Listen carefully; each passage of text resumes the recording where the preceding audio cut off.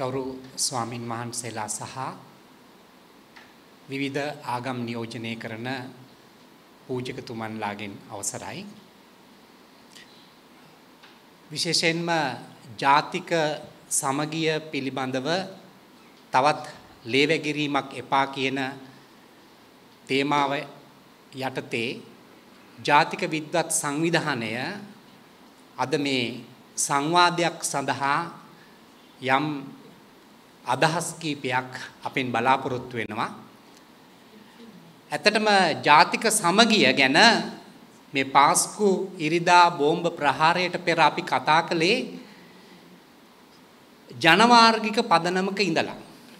විශේෂයෙන්ම මේ රටේ ඇති වුණු 30 අවුරුදු සිවිල් යුද්ධයත් පදනම් කරගෙන තමයි අපි ජාතික සමගිය ගැන කතා කළේ. මේ සිද්ධියෙන් පසුව අපට ජාතික සමගිය ගැන කතා කරන්නට සිදු වෙලා තියෙන්නේ මේ කතිකාව පැන නැගෙන්නේ විශේෂයෙන්ම මේ ආගම මුල් කරගෙන ආගම් මුල් කරගෙන සහ ආගමික අන්තවාදය මුල් කරගනිමි. මේ අවස්ථාවේදී මේ පාස්කු ඉරිදින බෝම්බ ප්‍රහාරයට සම්බන්ධ වුණේ ත්‍රස්තවාදීන් පිරිසක් වුවත් ඔවුන් නියෝජනය කළේ ස්ලාම් ආගමික අන්තවාදය. ඒ නිසා මේ ජාතික සමගිය කියන කතිකාව දැන් තවත් පැත්තකට හැරෙනවා ආගම් මුල් කර ගනිමින්. ඒ නිසා මම කැමති මේ ඊතා කෙටි මොහොතක් ඇතුළත ආගම හා මතවාදයේ අතර යම් කෙටි අදහසක් ඔබ හමුවේ තබන්නට. විශේෂයෙන්ම මතවාදය මානවීය නූනොත් මතවාදයේ දූෂිත වුණොත් අනිවාර්යෙන්ම ඒ මතවාදය ආගම් ඇතුළට ඇතුල් වුණොත් සිදුවන්නේ එම ආගම ආරවුලට කැමති ඡණ්ඩ ස්වභාවයක් ගැනීමයි. මේකට නිදසුනක් හැටියට අපිට කියන්න පුළුවන් අපි යුරෝපීය අධිරාජ්‍ය සමයේ අපි ගත කරන යුගයේ දේශානුරාගය කියන මතවාදය එක්තරා ආකාරයකට බුදුදහමට බෞද්ධාගමට සම්බන්ධ වෙන මේ මතවාදය දේශානුරාගය. එතකොට ඒ වකවානුවේදී අධිරාජ්‍ය යුගයේදී ඒ මතවාදයට යම් නිත්‍යානුකූල බවක් ලැබෙනවා. මොකද නිදහස් අරගලය. ඒකට සුදා අපි කියනවා සුජාතක බවක් ලැබෙනවා. නිත්‍යානුකූල ස්වභාවයක් ලැබෙනවා. නමුත් නිදහසින් පසුත් ඒ මතවාදය එලෙසම පවතිනකොට ඒක ජාතිවාදයට යොමු වුණු මතවාදයක් බවට පත් වෙනවා. එතකොට තවදුරටත් ඒ මතවාදයට නිත්‍යානුකූල වළංගු භාවයක් නැහැ. එම නිසා යම් මතවාදයක් ඒ අරමුණ සාක්ෂාත් වුණාට පසුවත් ඒ මතවාදය දූෂිතව පවතිනවා නම් ඒ මතවාදය ආගම් තුලට රිංගගත්තොත් අනිවාර්යෙන්ම එම ආගම් අන්තවාදයට යනවා. එතකොට අන්තවාදී කණ්ඩායම් විසින් මේ ඉස්ලාම් ධර්මයත් වැරදි ලෙස අර්ථකථනය කිරීම තුලින් තමයි ඒ අන්තවාදී අදහස් ඇති වෙලා තියෙන්නේ. එම නිසා මතවාද හැටියට අපි හඳුනගත්තොත් ජාතිවාදය, වර්ගවාදය, කුලවාදය, බෙදුම්වාදය, ස්ත්‍රී පුරුෂ භාවය නිසා ඇතිවන අන්තවාදී මත පමණක් නොව ආගම්වාදයෙන්ද මෙම ධර්ම චින්තන ආරක්ෂා කර ගැනීම අපගේ යුතුයකමක්. විශේෂයෙන්ම මුල් බුදු දහම මුල් කිතු දහම මුල් හින්දු දහම සහ මුල් ස්ලාම් කියන ආගම් එවැනි මතවාද වලින් දූෂිත වෙලා තිබුණේ නැහැ. ಜಾතිවාදයෙන් හෝ වෙනත් ආගමික අන්තවාදයන්ගෙන් ඒ ආගම් දූෂිත වෙලා තිබුණේ නැහැ. ඒ නිසා මතවාදය මානුෂීය නම් ඒ මතවාදය ආගමට නැත්නම් ආගම්වලට යහපතක් වෙනවා. අපි දකිනවා යුරෝපයේ විශේෂයෙන්ම ප්‍රජාතන්ත්‍රවාදය කියන මතවාදය එහෙමත් නැත්නම් නිදහස සමානාත්මතාව මෙවැනි මතවාද කිතුණු දහම පෝෂණය කළා.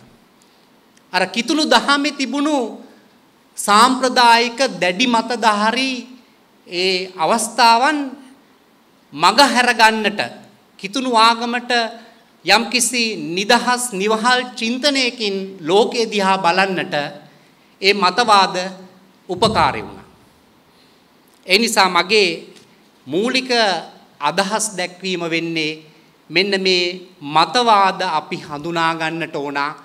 ඒ මතවාද දූෂිත නම් ඒ මතවාද ආගමට බලවත් අහපතක් කරනවා. ඉතින් මෙන්න මේ පසුබිම හඳුනාගෙන තමයි අපි මේ අවුරුද්දේ පෙබරවාරි මාසේ ජාතික විද්වත් සංවිධානය හැටියට මෙන්න මේ ප්‍රතිපත්ති ප්‍රකාශනය ඔබ අතරට ගෙනාවේ. ගොඩනගමු ශ්‍රී ලංකාවක් ජාතික ප්‍රතිපත්ති මාලාව. ඒ ප්‍රතිපත්ති මාලාවේ ජාතික සමගිය කමිටුව නියෝජනය කරමින් අපි ඉදිරිපත් කළා ආගමික සහජීවනය පිළිබඳව කරුණු කීපයක් විශේෂයෙන්ම කරුණු තුනක් මං කැමතියි ඒ කරුණු තුන නැවතත් ඔබට මතක් කරන්න. ඒ තමයි පළවෙනි කරුණ ප්‍රධාන ආගම් සියල්ලේම අඩංගු විමුක්තිදායක දැක්ම පිළිබඳ කතිකාවන් ඇසුරින් ජාතික සමගියට ප්‍රායෝගික ක්‍රියාමාර්ගයක් සැකසීම. ඒ කියන්නේ සෑම ආගමකම තියෙන විමුක්තිදායක හරය අපි සොයා ගන්නට ඕන. ඒ විමුක්තිදායක හරය කිසිසේත්ම දූෂිත මතවාදයෙන් අන්තවාදයකට යන්නේ නැති එකක්. ඒක තමයි ආගමික ප්‍රාරම්භකයන්ගේ ආගමික කතෘවරුන්ගේ මතය. ඒක විමුක්තිදායකයි. දෙවැනි කාරණය තමයි ප්‍රධාන ආගම්වල ප්‍රාරම්භකයන්ගේ මුල් ධර්මය පසුකාලීනව විකෘත වීමෙන් ජාතික සමගියට ආයතනික ආගම් බාධා වන්නේ කෙසේද යන්න පිළිබඳ සමාජ කතිකාවක් අපි ඇති කරගන්නට ඕන. දැන් අපි ගත්තොත් මේ මුල් බුදුදහම මුල් කිතුදහම පසුකාලීනව මේ ධර්ම චින්තන සංස්ථාගත වෙනවා ආයතනගත වෙනවා. ආයතනගත වුණාම අර විමුක්තිදායක හරය මේ ආගම් වලින් නැති වෙනවා. ඒ නැතිවීමත් එක්කම තමයි අන්තවාදයකට යන්නේ.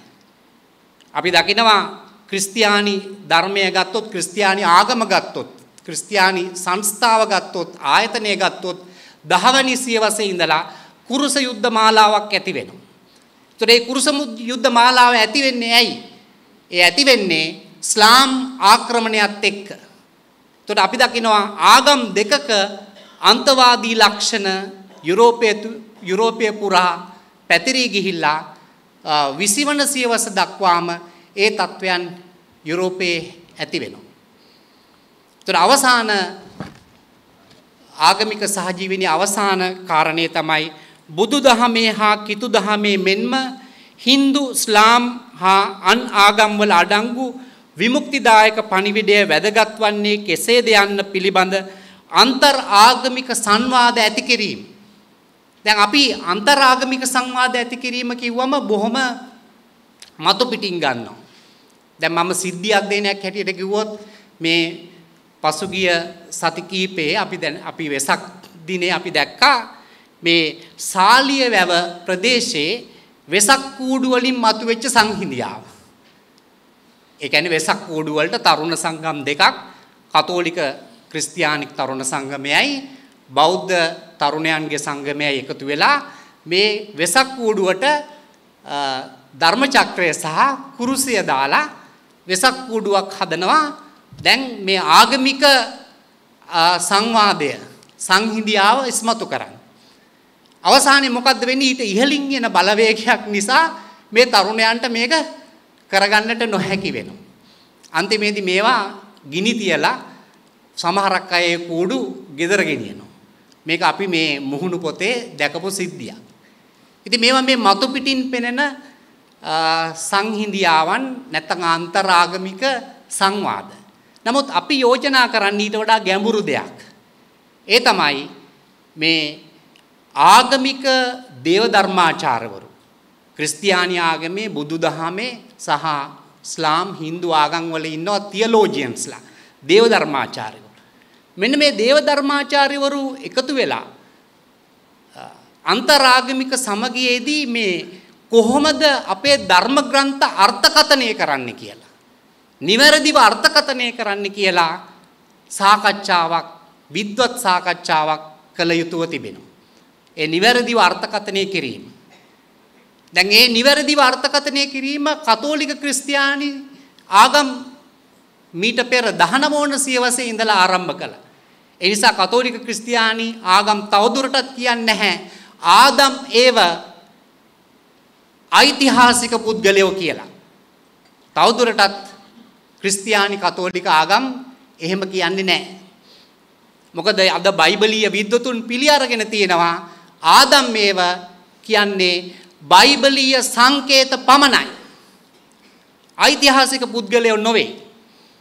ඉතින් ඒ නිසා මම ආරාධනා කරනවා ක්‍රිස්තියානි සංස්කෘතිය උගන්වන අධ්‍යනාංශයක කතිකාචාර්යවරයෙක් හැටියට විශේෂයෙන්ම මෙන්න මේ සංවාදය අපි ගැඹුරින් කළ යුතුයි අන්තරාගමික සංවාදය. ඒ සඳහා අපට සම්පත් තියෙනවා. විශේෂයෙන්ම මහාචාර්ය ඇලෝසියස් පීරිස් වැනි බුදුදහම සහ කිතුදහම මනවින් උගත් ප්‍රඥාව අප අතර ඉන්නවා. ඉතින් ඒ නිසා අපට හැකියාව තියෙනවා එවැනි අන්තරාගමික සංවාදයක් ගැඹුරින් ඇති කරලා අර දූෂිත මතවාද පරාජය කරන්න. අන්න ඒ සඳහා තමයි ජාතික විද්වත් සංවිධානය මෙන්න මේ ප්‍රතිපත්ති ප්‍රකාශනය මගින් ආගමික සහජීවනය පිළිබඳව ඊටාම ගැඹුරින් මේ යෝජනා තුනක් ඔබ හමුවේ තැබුවේ. ඉතින් අපිට දැන් කාලය එළඹිලා තියෙනවා ඒක පුළුල් ලෙස කතිකාවට ගන්න ජනතාව අතරට යන්න. ඒ සඳහා අපි සියලු දෙනාටම ශක්තිය ලැබේවා කියලා ප්‍රාර්ථනා කරමින් මම නිහඬ වෙනවා ස්තුතියි.